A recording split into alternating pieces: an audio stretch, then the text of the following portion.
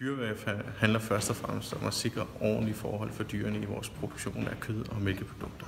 Men derudover handler det jo selvfølgelig også om at give os en konkurrencemæssig fordel i forhold til vores udenlandske konkurrenter.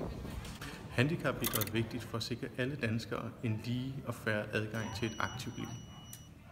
Da vores arbejdsmarked i stigende grad er blevet internationaliseret, så er det også vigtigt, at vi husker den internationale division, når vi uddanner fremtidens faglærte.